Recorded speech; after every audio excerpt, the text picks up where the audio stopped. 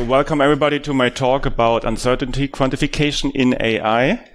Before I start, a few words about myself. I'm a principal data scientist at Inovex. Inovex is an IT project house, medium-sized, like we are 350 employees. And being a mathematician, my like main activities are mathematical modeling. So somehow translating practical use cases into the language of mathematics to then eventually solve them. I'm also a big fan of like putting things really to production. So not just stopping at some proof of concept, but really showing the value of machine learning, of data science by putting, by deploying it and uh, gaining then more revenue or some things. Also other, um, like special interests I have. I really like, um, everything about recommender system, which is a, a, hot topic nowadays. Also uncertainty quantification, of course. This is why I'm here. Lately also causality, because I think those two points, uncertainty quantification, causality will be and become much more important in the future. I'm also a fan of the Python data stack, of course, that's why I'm here. And I'm a maintainer of a little project of my own, PyScaffold. So if you ever want to like set up your own project in a standardized way to, to package your project, to ship it, then please have a look at PyScaffold. So the work I'm going to present today is uh, actually not my work, but it's the work of one of my students. So he mainly did all um, of it and he um, yeah I was supervising him in a master thesis. Now he's an, an esteemed colleague of mine. And he's also written a really cool blog post about this. And if you want to get even more, more details, you can even download his master thesis. So he's a mathematician, a little bit shy. This is why he's not here. I am. I just like to go to conferences. So, um, this is, um, the ground we're going to cover today. First, going to start with the motivation. So why should you actually care about uncertainty quantification, what it's all about and why it's important? Then I'm going to present different methods. Um, different, we're going to start with something like really mathy, like Gaussian processes. If you have been to some of the other talks yesterday, you heard already a lot about Gaussian processes. So we're going to use this as a baseline, then compare to four other methods which are more based on, on deep learning approaches.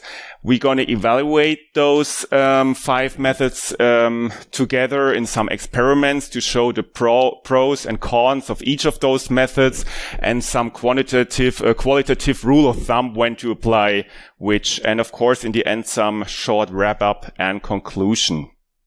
So let's start with the motivation. So you surely all know those nice deep learning classification neural networks where you put in some, some image and then you end up with a classification if it's a cat, a dog, a hot dog or whatever. And you might wonder actually, so yeah, the guy is talking about uncertainty quantification as if it's something new, but actually already here in those networks, we have some probabilities, right? We have the softmax layers. We get those probabilities. And in case of this cat, it's 90%. So it seems to work. If we put in another picture, maybe of this dog, the, the network is a little bit less certain about it. But what actually happens if we put something completely different in there? Some kind of image we have never trained on, some compute, uh, some complete new class like a bird. So in this case, you might assume that the network will tell you something like 50% a dog, 50% a cat, in a way telling you I have never seen anything like this before. But actually what might happen that you end up having 70% cat or 80% a dog. So it's not, it's not guaranteed what kind of what kind of results you're going to get. So you could get anything because there was never an image only uh, like similar to this in your training set and the network has no way of telling you i'm completely uncertain about the outcome so please don't rely on my on my outcome on my prediction and I mean, it's all, yeah, fun and games if we're talking only about classification of cats and dogs. But you might think that if you do autonomous driving and if you have a classification like this for traffic signs, then it becomes really important that um, if you put in some pictures that are not a traffic sign, that somehow your um, your classification model has a way of telling you. So I'm not I'm not certain what it is. And just doesn't give you just some random um, answer. And so why is this so? Why doesn't it work? So um, beginning of the year, I heard a really cool talk about the intuition about this at the Triple AI. Um, the paper is called Learning and the Unknown. And in this case, um, it there was given an example of four different classes, like those four colors. And it, what does a deep neural network do? I mean, a deep neural network, we've all learned that you kind of, it helps you do the feature engineering. It, um, it finds some, some internal latent space.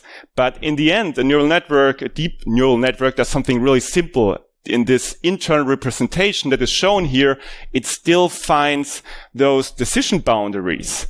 Like here, the circles would be the training examples, and we have this decision boundaries. And within this decision boundaries, it will give you a high uh, certainty about a, um, an instance being in this class if it's far away from this decision boundary.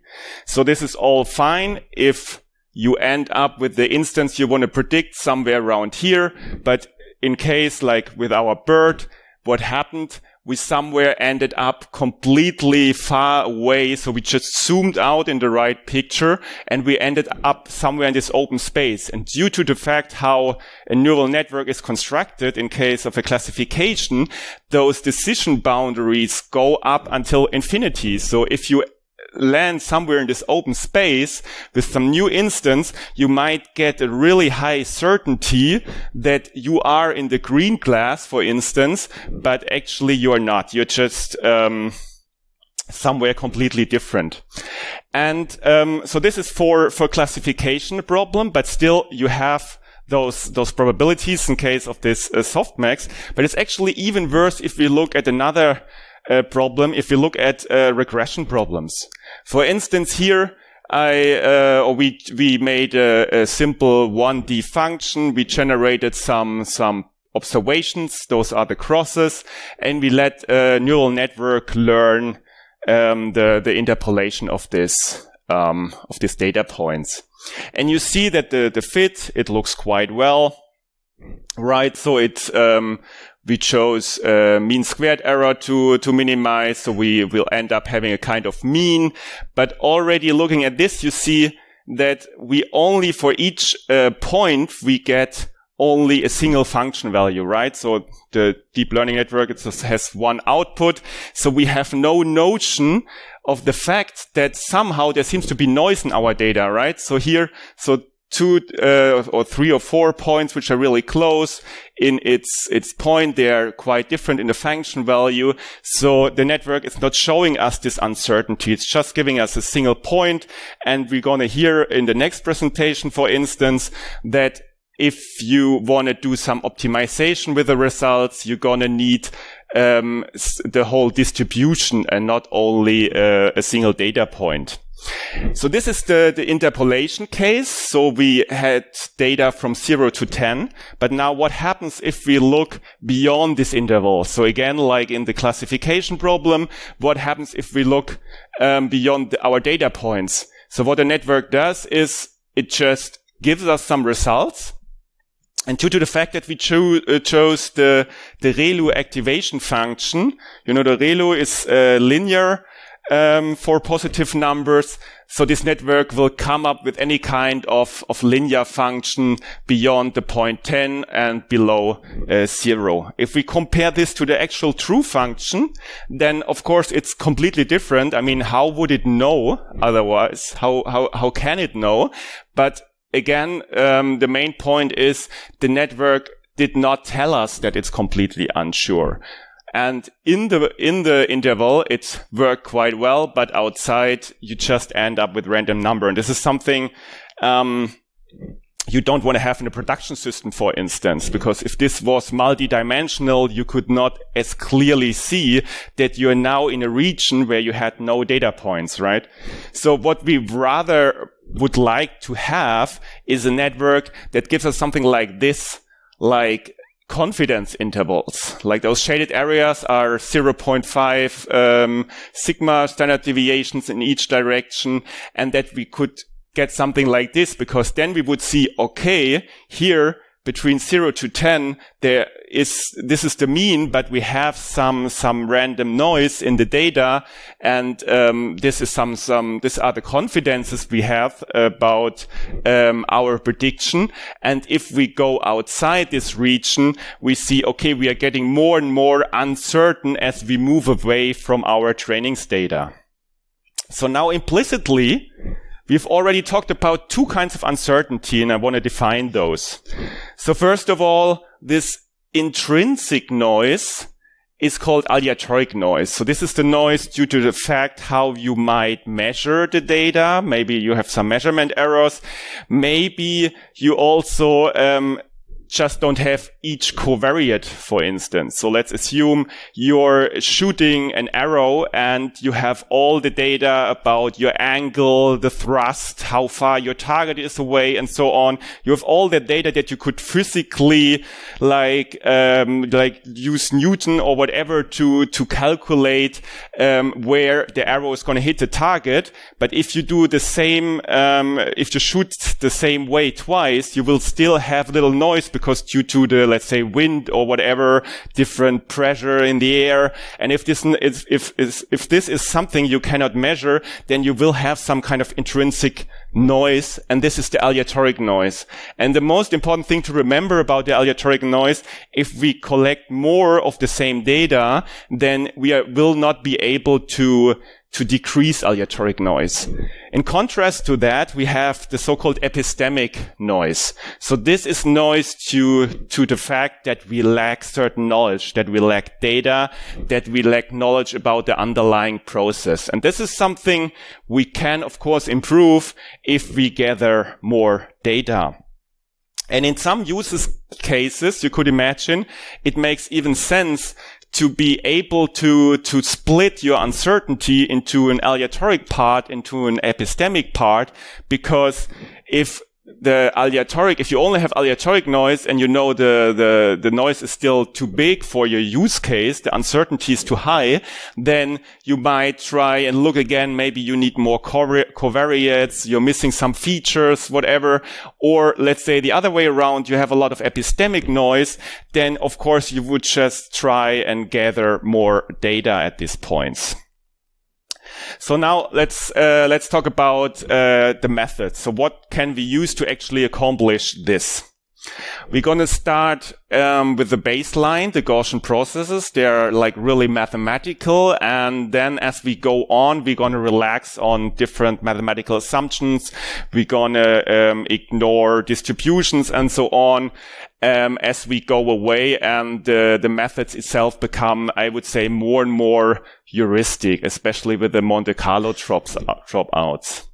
But let's first start off with something more mathematical with the Gaussian processes. So I'm going to give you only like a really small like intuition what a Gaussian process is. Maybe or raise your hand who knows what a Gaussian process is already. Okay, so quite a lot.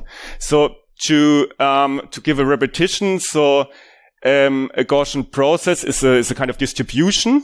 And if you would normally think of some some random variable, if you pull one sample from a random variable, you end up having a number or vector or whatever. But if you ask for a sample from a Gaussian of a Gaussian process, you end up having a whole function. So this is the, is the, the difference. And a function, so what's really fascinating is, I mean, a function has a kind of infinite number of points, right? So you have a lot of points and a lot of function values. So how does the Gaussian process accomplish this? That it gives you back a whole function. So actually, you're never practically dealing with infinite number of points, right? So for a function for us, it's enough to have a finite number of points, a finite number of func function values. And there comes now the relation of a Gaussian process to a normal distribution in, because if you ask the Gaussian process for um, the the for a finite number of, of points, then it will give you back a normal distribution, and then um, yeah, we are back at something we know. So the normal distribution in a, in a, a multidimensional case has a mean vector and a covariance matrix. And since we could ask the Gaussian process for any kind of points. We have to kind of generate those vectors and this matrix um, for all kinds of points. So this is why we have functions here. So it's a kind of, I see it as a kind of generalization of a, of a, of a normal distribution. And so, as I said, we have, instead of a mean vector, we have a mean function and, um, covariance function um, which gives us then some covariance matrix given um, some points. And uh, the the things we kind of put in there in this Gaussian process, if we set something up, like like the prior information is, for instance, if we are looking for functions that have a certain trend, or um, if we are looking for functions that are really smooth, so if we want to express the notion that if two points, when they're close together, the function values should really highly likely be also close together, then this is something we can encode into the covariance function. But um, a picture says more than a thousand words, so it's actually clear um, if we look at some examples. Let's take this exponential um, covariance function, and you can see um, that um, this would generate really smooth function because if this is really close, then the covariance between two points is really, really high. And um, if we now take just the zero function for the mean, and this is how a Gaussian process would, would, would look like, the distribution. So again, we have um, we have um, for the shadings, we have the like yeah like a visualization of the distribution, and those colored lines are just random samples from this distribution, and the dashed line is is the mean.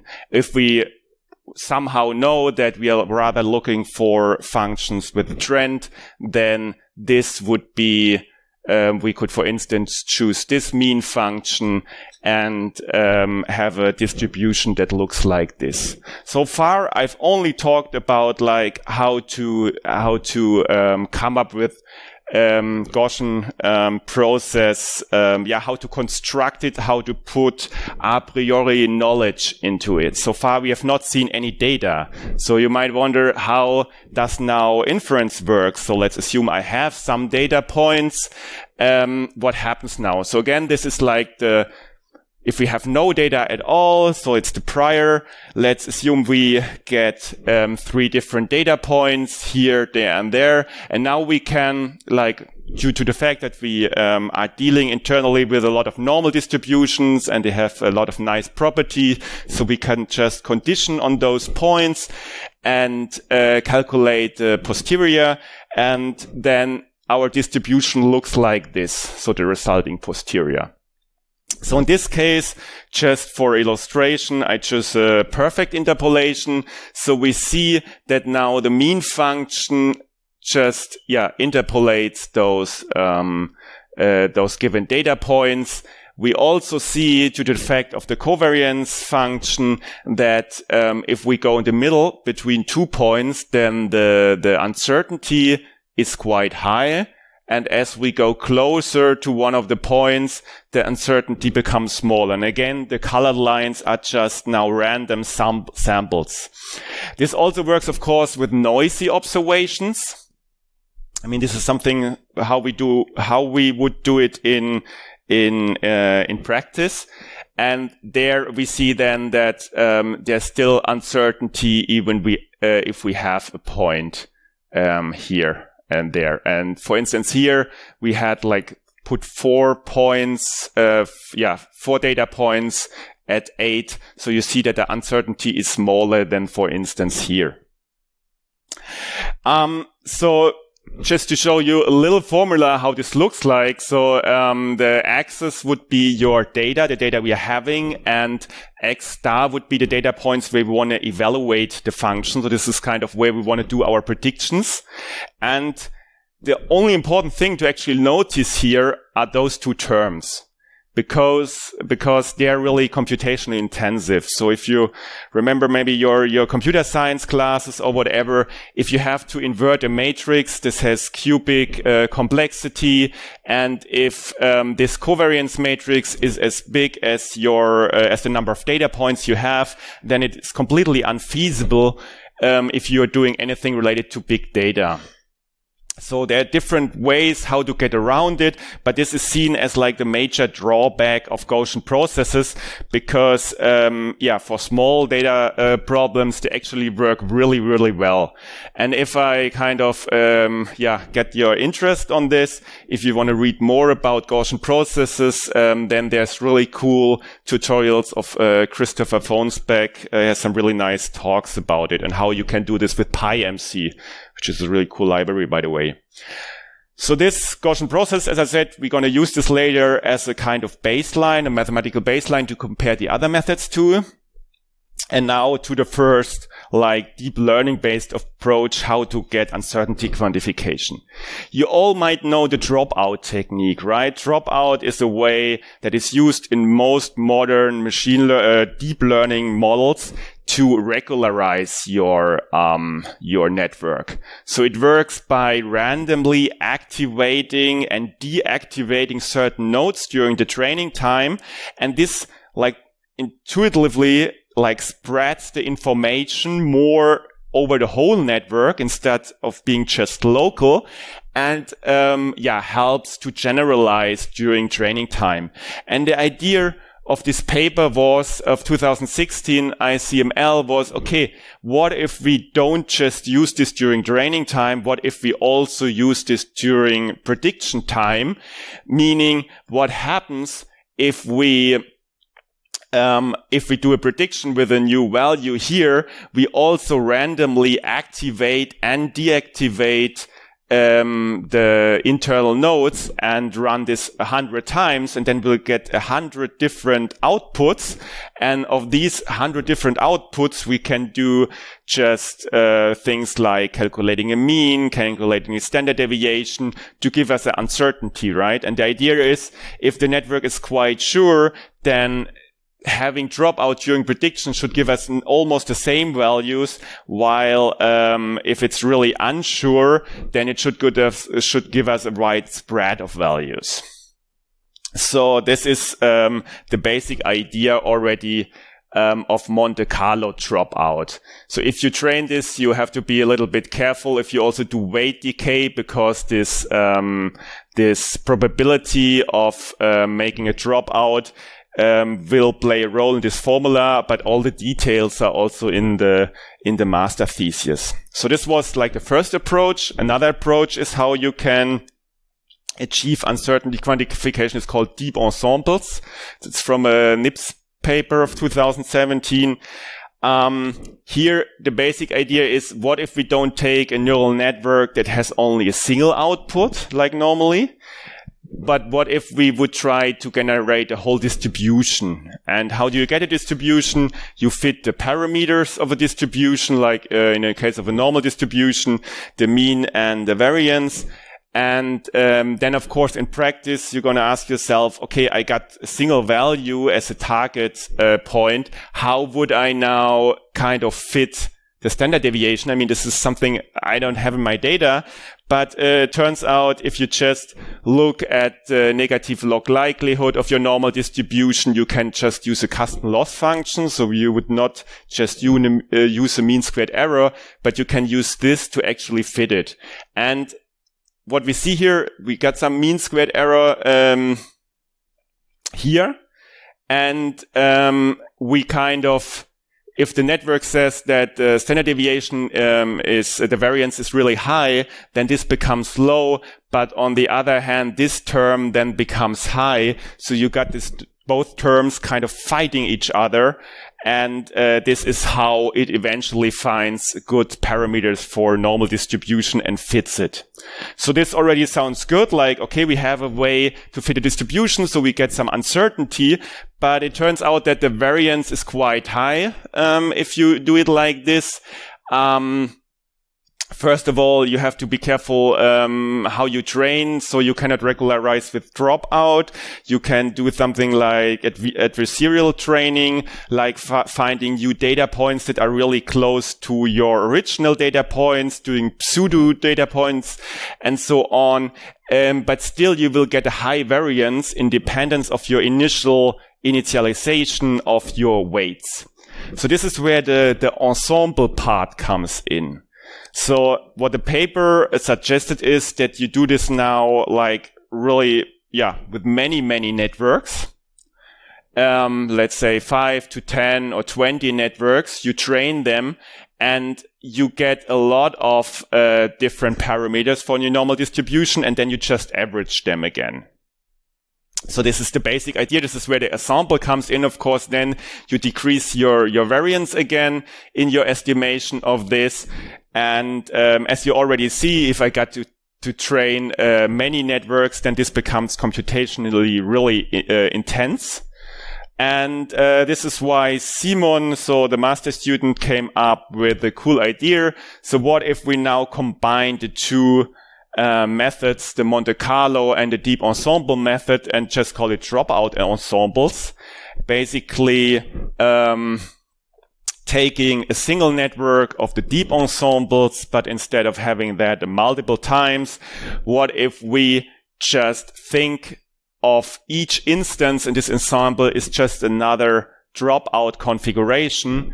And uh, by this, we will also get different uh, means and different variances, and we can do the calculation of those uh, central means and central uh, standard deviations again. So this was kind of um, yeah, what, what he came up in his master thesis as an additional uh, beneficial suggestion. So as the really uh, last method, I'm going to show a really easy one. So quantile regression, which can also be done uh, with the help of neural networks. And it's a really uh, simple method, um, but um, yeah, works surprisingly well. So again, to explain what this method does, uh, what is again a cumulative distribution function, I've given here the definition. So you're kind of given some point, you're kind of looking for the probability tau that um, they're um, showing up points in your uh, random distribution that are below or equal a point, and the quantile is actually just the inverse function. So given some, some tau, some probability, you try to find that point uh, y so that this equation is fulfilled. And you might wonder, okay, so how, if we're given that, um, if I want to find the quantile function. And I mean, if you have the quantile, of course, you could perfectly um, uh, measure and quantize your uncertainty because you know everything about distribution if you choose different taus. And you might wonder, okay, how can I use now some just neural network to actually um, fit these values? And this is um, um, quite easy as it turns out. So you just take a custom loss function and um, what's special about a loss function that it makes a difference between kind of a right error and a left error. So if my estimation of um, the quantile is below the actual value or above the actual value. And then another distinguishing point is that we don't have like normal sum squared error or something nonlinear. So we have um, at least like something piecewise linear here. We just take the, the absolute value and then we do some weightings between those left and right arrows. So, um, for me, actually, to be honest, when I first saw it, it was kind of, okay, this really works. And, um, yeah, I'm going to show you in some simple example that it's uh, actually really easy. So if we, if we take, for instance, the median, so 0.5, then tau would be 0.5 here and here, so we can just ignore it for moments. So how this would look like now in 1D, let's assume we have four points at 0.1, 0.2, 0.5, and 0.8. And we assume that our median is here wrongly. Then we would have those four um, errors. Um, yeah, so to the point 01, 02, and so on. And since um, we call this now kind of right-hand side errors because um, the error is in this 1D example on the right side. And the error is in total 1.6. So the, some backpropagation would maybe tell us, okay, we got to move on a little bit higher. Let's say we move on to 0.1. In this case, we decrease the error four times. We have four data points by our step width, which was 0.1.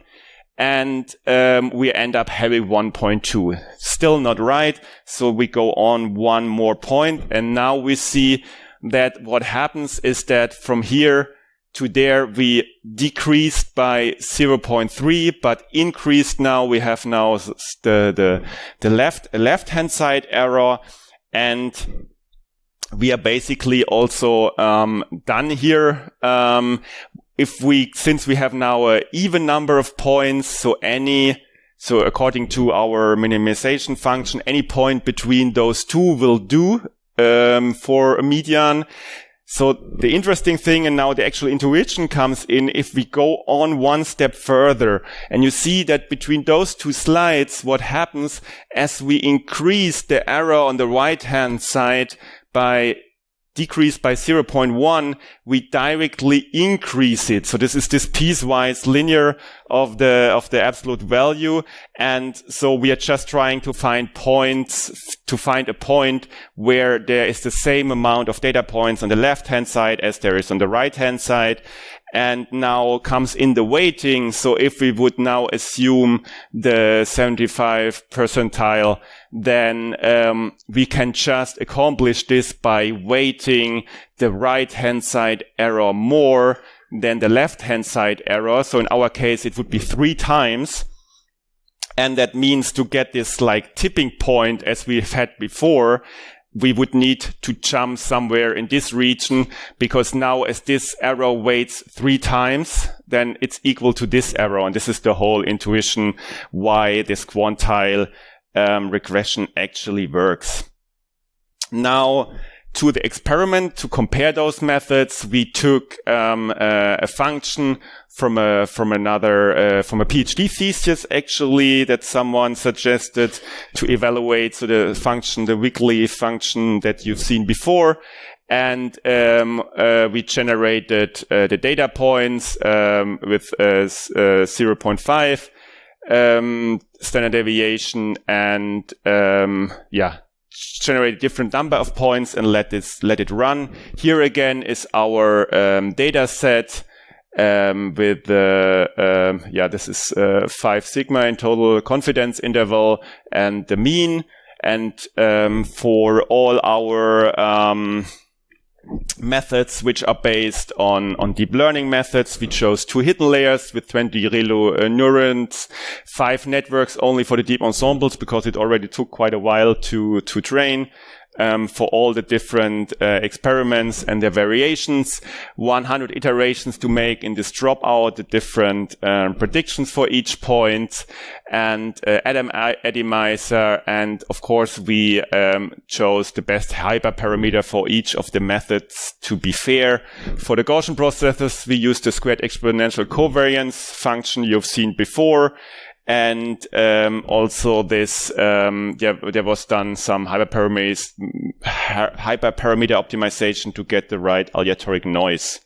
So if you want to compare something, of course you uh, might think, okay, what kind of uh, error functions, what metrics you want to look at, and uh, first of all we have the mean squared error. Um, independent uh, for the for the mean and the standard deviation. Then we looked at the mean negative log likelihood. So this is the function that uh, the deep ensemble method is directly trying to, to minimize and the mean Kullback-Leibler divergence because this is also often used. Used. Um, so what were the results? Um, so especially for um, the metrics with the mean squared error, so how good our mean actually is, and the uh, standard deviation, um, as well as the mean Kullback-Leibler divergence. We see what was uh, cool to see um, being a mathematician, of course, that the, the baseline, the, the Gaussian process uh, was much better than the other ones. Um, but if you go for a deep learning method, then the deep uh, ensemble, which was also computationally quite intense, um, turned out to be the best for the interpolation experiments. So you might wonder, how does it now look? Did we achieve our goal? I mean, we wanted to have um, interpolation and extrapolation. So just by looking um, with the eye, so interpolation uh, looks good. I mean, these were the numbers shown before, but extrapolation, the Monte Carlo dropout, um, at least what we wanted is as we move away, the uncertainty increases. This is also with the deep ensembles and um, with the with the dropout ensembles and the quantile regression. But somehow in our example, they really all had problems in this like narrow arm of the function because here they definitely underestimate the increase in uncertainty. So at this, uh, at these regions. And, uh, what's, what you can also see is all the dropout methods. You have this, this kind of, uh, chicked, um, mean. So this is due to this, um, that you have the, the, the dropout and also the, the um, uncertainty, the confidence intervals, they look kind of strange in those kinds of methods. So for the deep ensembles, like only qualitatively looking, it looks quite well, and the quantile regression. If you comp- compare this to the Gaussian process, so this is actually what I would have liked uh, to see also for the um, for the deep learning based models, because here you see directly, okay, we are moving away from the 10 and the Gaussian process by its definition goes back to its uh, prior. So you end up um, being in a complete like uninformed state. Um, you might say, okay, this is kind of unfair because this is some a priori knowledge that we've put in there. But in many use cases, you have this knowledge, and then it's nice to see that, um, yeah, um, that this does exactly what you wanted to do. Talking a little bit about um, like how efficient this the whole thing is, how data efficient. I mean, as you we have here on the y and the x-axis the number of data points and uh, one of the measures, the KL divergence, and um, the the Gaussian process needs only little data to be quite good actually, and then kind of like levels out. Um, the um, deep learning based models like quantile regression, deep ensembles, the more data you give, the better it gets, like typical for deep learning methods. What we found quite interesting is um, that um, all the dropout based methods, they kind of improve up to a certain point, but then hit a barrier and go on. So we assume this is due to the fact that there is this dropout. I mean, it gets also some noise into the prediction that might be unwanted. And then one would have maybe to play a little bit more with the fact that maybe in, in lower levels, you want a different dropout rate than in higher levels. And of course, then it becomes really um, problematic to optimize. Um, but yeah, this is something we found. Okay, it's uh, not behaving so nicely there. How about heteroscedastic noise? So what happens if the noise changes throughout the function? This is also mm, uh, something you might have. Then Gaussian processes are quite bad because I mean they the, one of the assumption is that it's homoscedastic. So if you if you um, um, yeah if you don't adhere to this um, to this assumption, then uh, it becomes quite bad.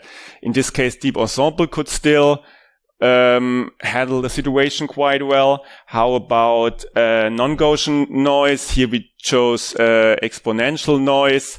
Um, there was not that much of a difference between the different methods. So I would actually would have expected that the Gaussian process um, is much worse in this case because it also, I mean, it has a normal distribution as one of its assumptions, but in this example, it worked quite well. Another thing I just want to mention, so why did I give all this um, uncertainty uh, split uh, definitions about aleatoric and epistemic noise? Um, the cool thing about the ensemble methods is that you can now do a split like this.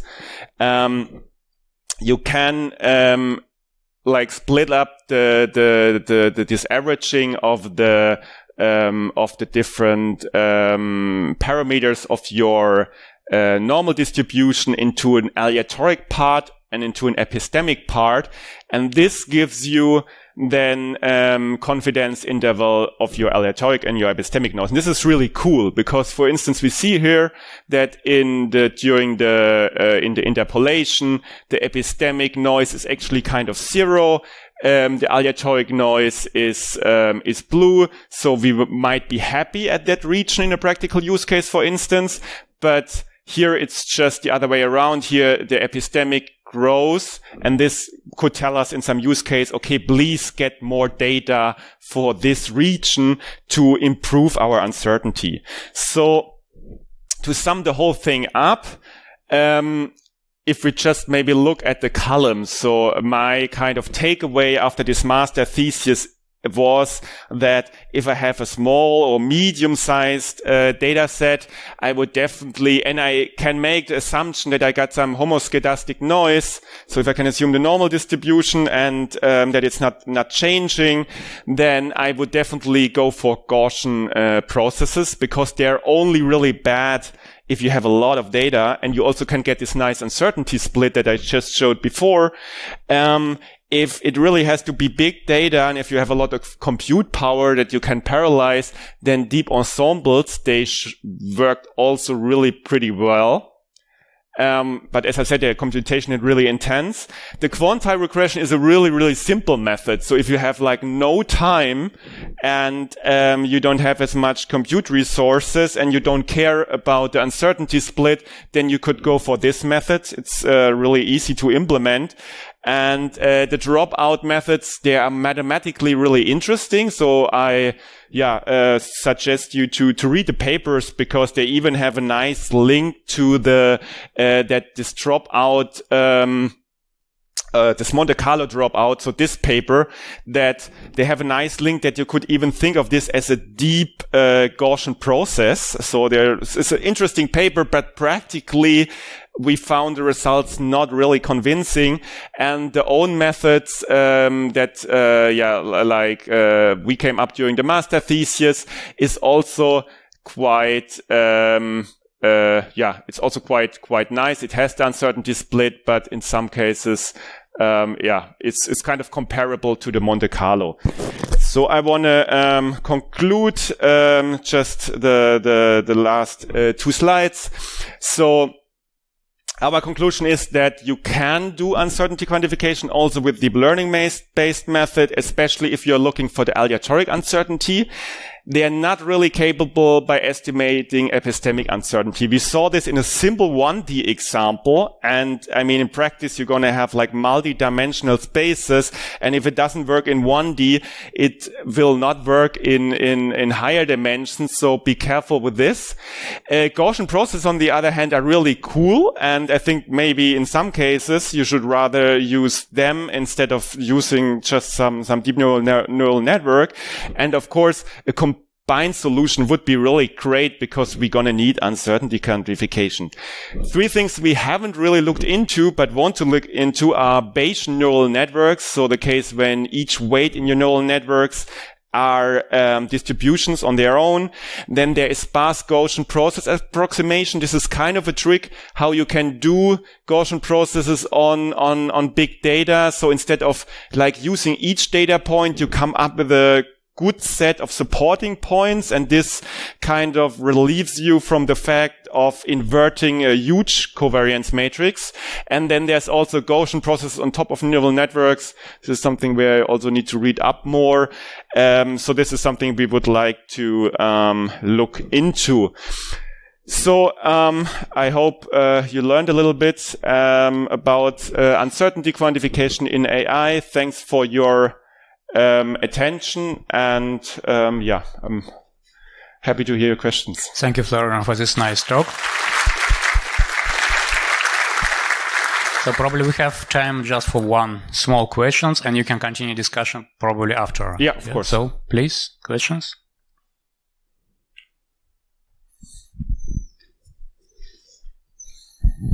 Hi. Uh, Hi. Thanks for the talk. Uh, it might be confidential, but uh, for what do you use it in practice or do you use it for anything in practice?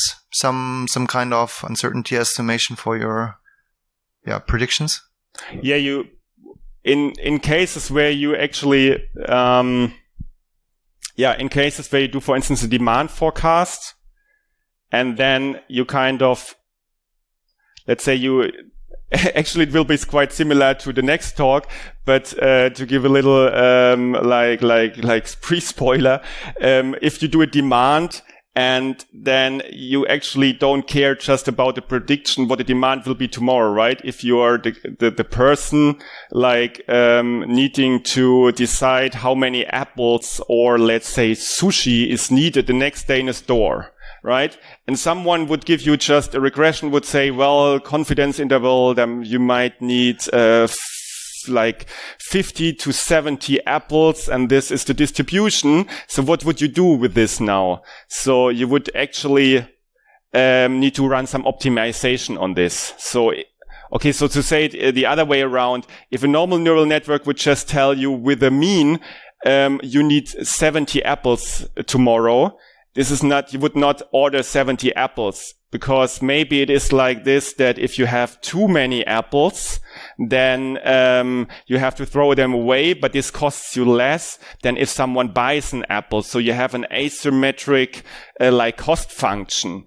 And if someone gives you only a single point, you cannot really apply this cost function that it's for you better to actually have a little bit more apples than uh, than less apples.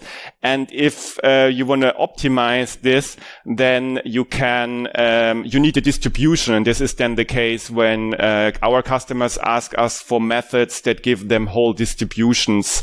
Um, and this is basically so a lot of it, it's mostly about uh, demand forecasting for um, yeah for retailers. Okay so thank you. Let's thank the speaker again